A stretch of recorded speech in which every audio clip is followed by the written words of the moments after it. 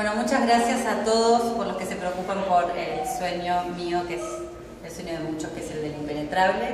Y todos los que quieran ayudar o informarse tienen que comunicarse con el Banco de Bosques. Ellos les van a dar toda la información, cómo podemos ayudar, cómo podemos hacer fuerza, qué otras acciones podemos hacer para lo que significa crear el Parque Nacional, para ayudar a las comunidades originarias de ahí. Y mm, nada, sigan apoyando.